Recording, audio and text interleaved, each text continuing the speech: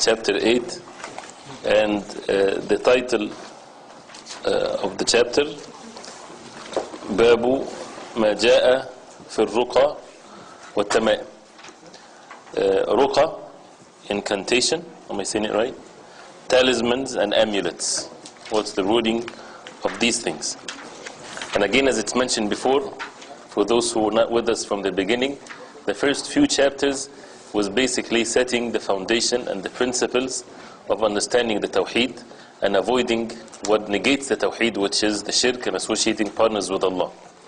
And from a few chapters back, the specifics of the things that falls under the category of shirk, it is not enough for a Muslim to worship Allah subhanahu wa ta'ala alone unless he denies shirk and associating partners with Allah, major and minor, and the Tawheed is basically that takes the person outside the fold of Islam from major shirk to become a Muslim.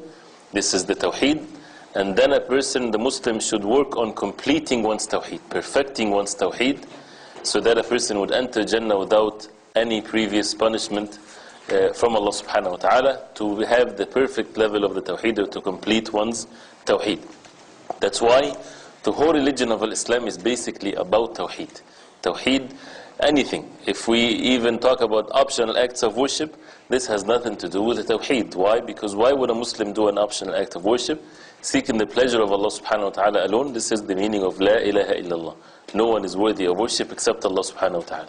And how does he do this optional act of worship? According to the way of the Prophet sallallahu alaihi wasallam, which is Muhammadur Rasulullah. So everything relates back to the tawheed, the oneness of worship of Allah subhanahu wa ta'ala. And sins weakens the tawheed. Because if a person disobeys Allah subhanahu wa ta'ala that decreases the iman that weakens the tawheed. Not the belief but it weakens the tawheed. And the person would have a deficiency till he repents to Allah subhanahu wa ta'ala. And with these issues that has been mentioned the amulets and things of that nature it comes into the chapter or the topic of the means al-asbab. Allah subhanahu wa ta'ala created asbab means in this life that governs the life of the people. These asbab are of two types one type is the physical means that people know and understand, uh, breathing the air, eating food. These are means, medicine, things of that nature. It's permissible, of course, to deal with these means with the hearts attached to Allah subhanahu wa ta'ala, putting the trust in Allah subhanahu wa ta'ala, and the means has to be halal, permissible. The other type of means are the religious means, that we only know it with revelation, Quran and Sunnah of the Prophet sallallahu that Quran is cure, physical cure to people, and cure to their diseases and sins and so on. And uh, for example, whoever fears Allah subhanahu wa ta'ala, Allah will provide for him. These are means. The disbelievers do not know that, but the believers know that because this is what Allah subhanahu wa ta'ala says in the Quran. If people take means other than these two types of mean, then it takes them under the category of shirk. Worse than a major uh, sin. So that's why it comes into the subject of the amulets and the talismans and all these types of things that was present in the time of Jahiliyyah before the Prophet and it's still present until nowadays. Some people say, well, we have more important things to talk about. No, this is very important that we talk about this. If we as Muslims do not purify ourselves and protect our deen from anything that would negate or weakens the tawheed, what is goodness then after that? If we do not protect the first pillar of Islam, which is La ilaha illallah, Muhammadur Rasulullah, if we have the best manners and the best way and things of that nature, but we have deficiencies in the origin of the deen, in the belief in La ilaha illallah Muhammadur Rasulullah, what benefit can come into the rest of the pillars of Islam? This is the most important thing that has to be uh, pure and has to be only for the sake of Allah subhanahu wa ta'ala, again based on the verses of the Quran and the hadith of the Prophet So here when it comes to ruqya, uh, ruqa, the plural of ruqya. Ruqya, or incantation or things to be recited. Uh, some ruqa can be evil, it can be bad, and some ruqa can be good. Uh, whatever is good from ruqa is what the Prophet ﷺ approved. And what is that? Uh, the Prophet ﷺ said to the companions radiallahu anhum, اعرضوا علي رقاكم. Present your ruqa, the things that you recite, uh, ways for cure, uh, present it to me. And then he said alayhi salatu wasalam to them, Urqu ma lam yakun shirkan. Make ruqya as long as it's not shirk. So any ruqya that has shirk in it, then definitely it's not permissible. Calling into other than Allah subhanahu wa ta'ala, even if it's the Prophet sallallahu alayhi wa sallam. When we say in the verses of the Quran, when we read, وَلَا تُشْرِكُوا بِهِ شَيْئًا Do not associate anything with Allah subhanahu wa ta'ala. نكرة في سياق النفي. In linguistic, it's denying anything matters of shirk, and it's nakira, meaning it's anything. That means anything. There's no difference between an idol or prophets or pious people or angels. Anything other than Allah subhanahu wa ta'ala, it's not permissible for a Muslim to turn to, to call to. This is definitely the same. Nobody would say, well, this is the Prophet sallallahu alaihi wasallam. Then it's still under the same category. The Prophet sallallahu the love of the Prophet sallallahu is that we follow him, we obey him, and we love him alayhi salatu wasallam. So uh, the issue of ruqa, uh, reciting from the Quran, from the du'as of the Prophet ﷺ, general dua, as long as it's not shirk, it's something that is good. Seeking cure, physical cure to physical ailments, this is definitely something permissible and good for a person to do for oneself or for others. But anything that has shirk, then it's evil. Calling into a jinn, like some people do, or calling to a human being or whatever there is, this is all forms of shirk talismans and amulets, things that people hang around their neck or their waist or their wrist or whatever there is, are these physical means? Does it have physical cure? Actually, imagine that you're presenting Islam to a non-Muslim. Tell him, you know, if you put a, a thread around your arm, it'll cure you from your heart disease. You know, making fun of ourselves. The deen of Allah subhanahu wa ta'ala, if this is something mentioned in the Quran, we submit ourselves, or the sunnah of the Prophet But it's all foolish things. People, shaitan deceive them. And out of ignorance, people would believe in that. The hearts become attached to other than Allah subhanahu wa ta'ala. And that's why it's so dangerous. It's forms of shirk. The Prophet and again, we do not use our intellect in this. We use the verses of the Quran and the hadith of the Prophet and this is what we need to submit ourselves to. And again, I need to be brief so that we can finish the book, inshallah, by next weekend. Uh, the hadith في الصحيح عن أبي بشير الأنصاري رضي الله عنه أنه كان مع رسول الله صلى الله عليه وسلم في بعض أسفاره فأرسل رسولا ألا يبقين في رقبة بعير قلادة من وتر أو قلادة إلا قطعت. The Prophet صلى الله عليه وسلم he was in uh, the, this companion of the Prophet صلى الله عليه وسلم أبي بشير الأنصاري this is in Bukhari and Muslim he was in the company of Allah's Messenger wasallam on one of his journeys. Allah's Messenger wasallam sent a messenger ordering, there shall, there shall not remain any necklace of bowstring or any other kind of necklace round the necks of camels except it is cut off. This is uh, something that the Prophet ﷺ ordered the people to do. So again, this is continuing about mentioning the things that would negate the tawheed of a person as a result of the heart being attached to other than Allah subhanahu wa ta'ala. Uh, it's mentioned in the hadith, ألا يبقين في رقبة بعير قلادة قلادة what things they put around the animals seeking blessings or protection to these animals or water from the, uh, the, the, thread of, a, of a, a bow, a bowstring, they would believe that this can bring benefit to the animals or whatever there is. So the Prophet ﷺ, someone said someone to call people to cut these things off, which proves clearly that hanging these things to push away harm, it's definitely has the same rulings as amulets as it's mentioned before, which is forbidden because it's seeking a mean that it's not something that is physical mean or something that is mentioned in the Quran or the Sunnah of the Prophet ﷺ. Also, it shows that how a Muslim should forbid the evil that there's something evil, we need to enjoin good and forbid evil in the best manner and to call people to yani, obey Allah subhanahu wa ta'ala alone and also to convey this message to the people. We need to convey these types of uh, understanding and beliefs uh, to all people because this is the order of Allah subhanahu wa ta'ala. The next hadith, hadith of Abdullah ibn Mas'ud radiallahu anh, narrated that he heard the Prophet sallallahu alaihi wasallam saying, إن الرقى والتمائم والتولى شرك that Abdullah ibn Mas'ud radiallahu anhu he said that the Prophet ﷺ said الرقى التمائم and التولى are all acts of shirk what are these things الرقى we mentioned before these recitations that has any forms of shirk in it the calling unto other than Allah subhanahu wa ta'ala uh, التمائم is the act of putting amulets around the necks of children or around the necks of the human beings, grown-ups or animals or whatever there is, think, believing that it pushes away harm and so on. Wattewala, it's something that they believe that it makes the wife loves her husband or the husband loves his wife.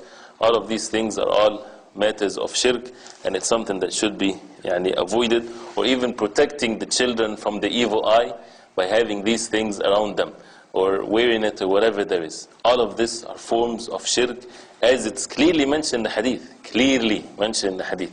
So it's something that it's not opinions or anything, it's the clear hadith of the Prophet sallallahu alaihi wasallam.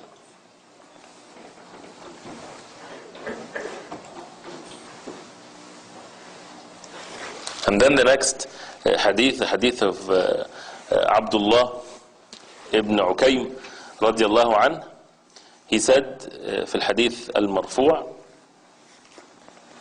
من تعلق شيئا وكل إليه which means whoever uses or attaches or wears a talisman to himself will have that talisman put in charge of him reported by Imam Ahmad Tirmidhi why he hang why he's hanging these things having the heart attached to it to push away harm then he will be uh, make these things these things will be in charge of him that means what it won't benefit him because it's not even charge of its own self.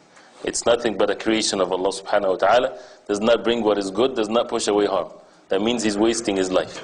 And whoever have his heart attached to Allah subhanahu wa ta'ala and he put his trust in Allah subhanahu wa ta'ala Allah is sufficient for the Muslim. That's why Allah subhanahu wa ta'ala should be sufficient for the believers. They do not seek the help from any other than Allah subhanahu wa ta'ala.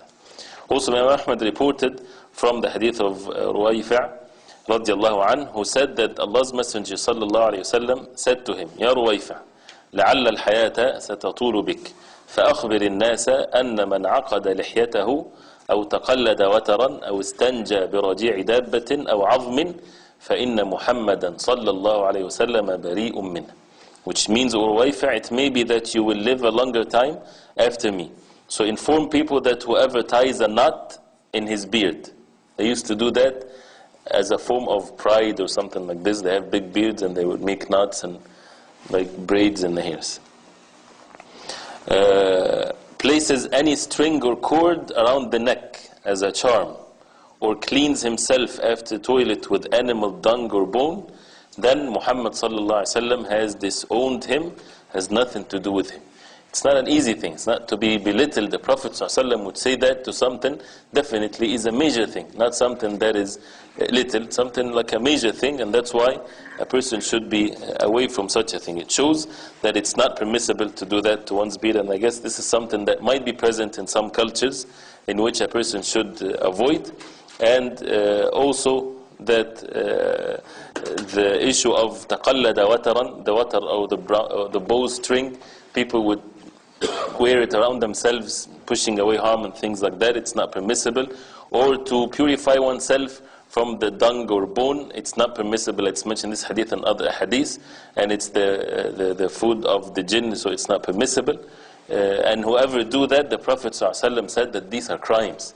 The Prophet ﷺ is disowning him. He's free from such a behavior that means it's major sins or shirk, depending on what it is.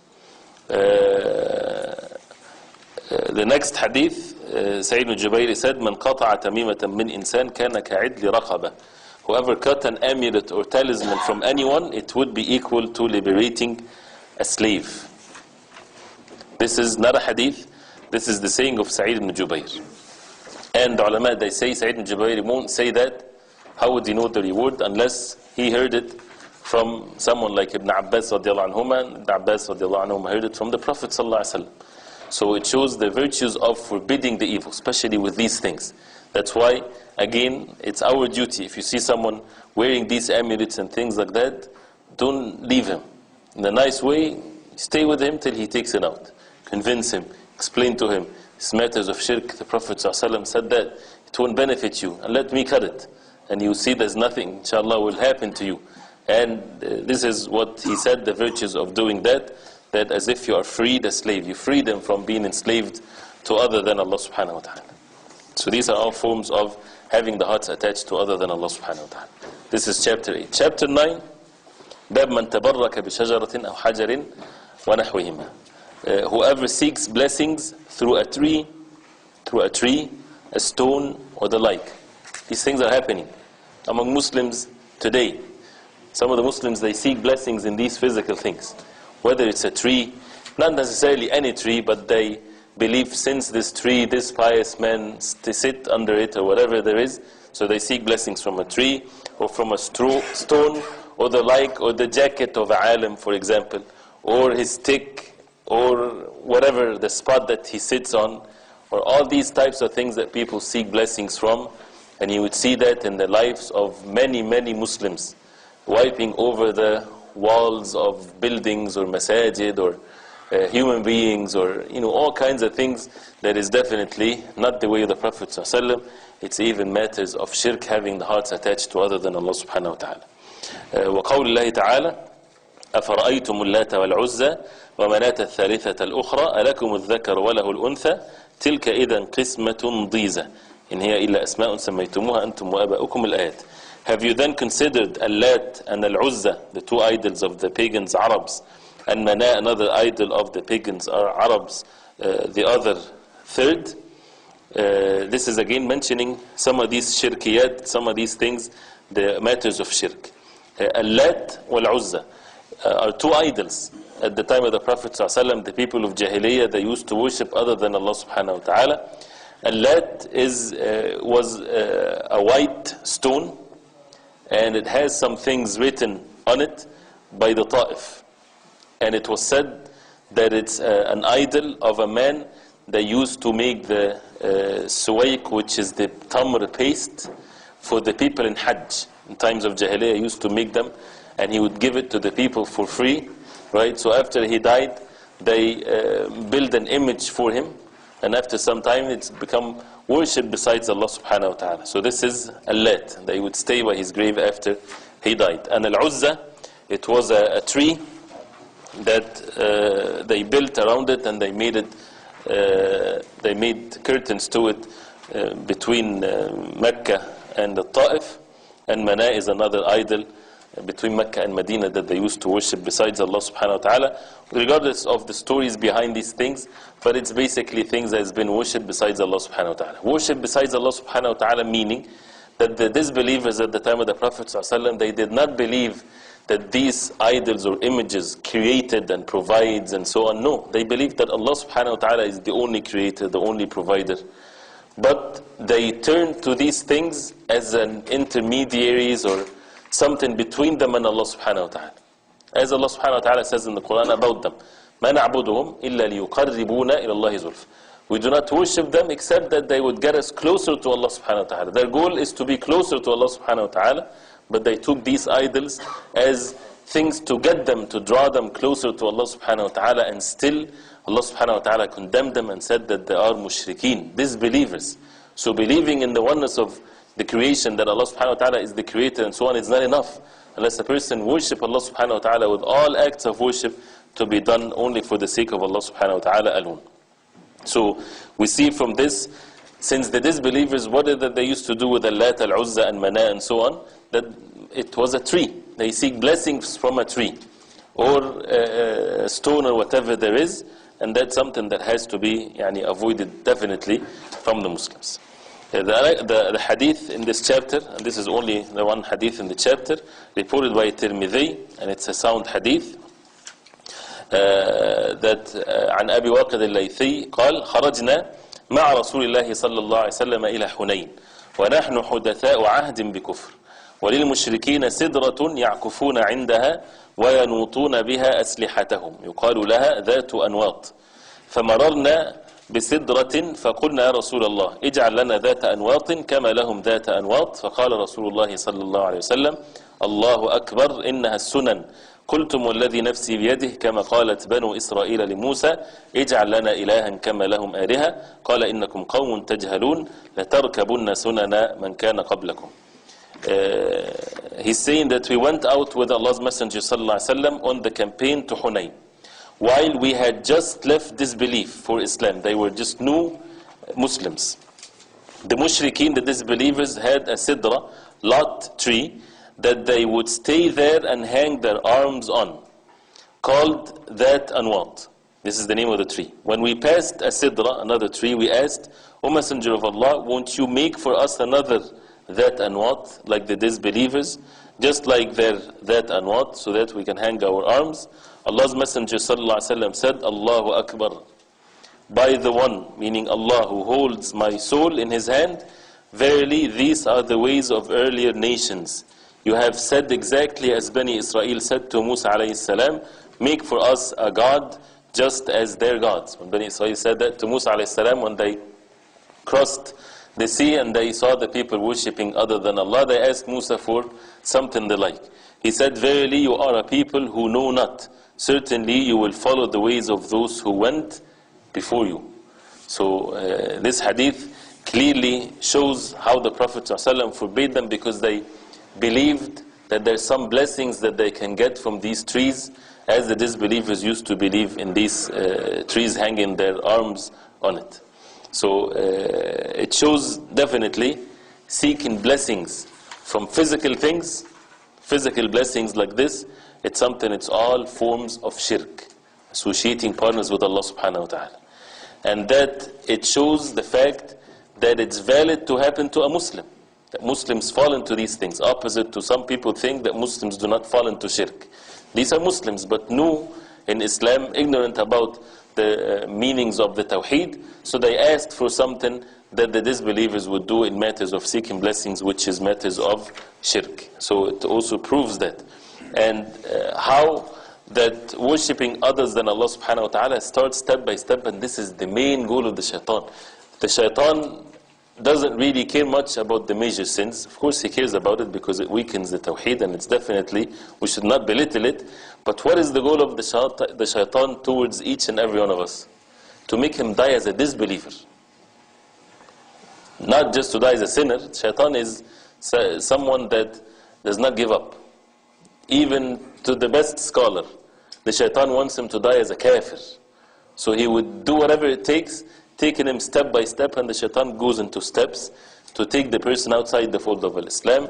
And that's why a person should always be on his guard, should never be or feel that he is secure from falling into shirk and kufr. No, because this is what the shaitan wants from the person. So an uh, easy way to enter into the people as a result of ignorance is to have their hearts attached to other than Allah subhanahu wa ta'ala. And the Prophet said that the shirk will fall into this ummah. As he mentioned that you would follow the ways of the people that uh, were before you, like the Jews and the Christians and so on. And uh, again, the reason that they said that is they were seeking blessings from such a tree thinking that it can protect them or help them or whatever there is. And a few hundred years ago, and, and I don't know if it's still present, people they would still seek blessings from trees, Muslims, a special tree, right? And because of the ignorance that prevails, imagine a tree, something happens in a tree that looks like a miracle thing. People will go to the tree and sit under the tree and, and attach themselves to the tree right? Because of the lack of understanding and spreading the knowledge of the Tawheed and these ahadith and, and keep on repeating it over and over. As a result of not having this established in communities and so on, it's very easy for people in fitan, especially, to fall into these things. So we have to be careful and always teach about matters of the deen uh, and to be away from that. The Prophet ﷺ is someone that the Sahaba used to seek blessings from in his lifetime. And this is definitely permissible. Uh, but after the Prophet ﷺ, it should not be said that, well, since they used to seek blessings from the Prophet ﷺ, his sweat, his uh, uh anything from the Prophet ﷺ, even the water dropping from his wudu, that means we can do the same thing for the uh, pious people after the Prophet ﷺ. Definitely it's not permissible among the consensus of the ulama. Why? Because they didn't do that to Abu Bakr radiallahu anh. They didn't do that to Umar radiallahu anh. Abu Bakr is equal to all the ummah of the Prophet ﷺ. The best wali of Allah subhanahu wa ta'ala, the best person after the messengers of Allah is Abu Bakr radiallahu anh. Why the Sahaba radiallahu anhu didn't seek blessings physically from him or Umar radiallahu anhu and so on. All of a sudden after hundreds of years people discovered there are some people that they need to seek blessings from. It's all definitely not the way of the Prophet wasalam.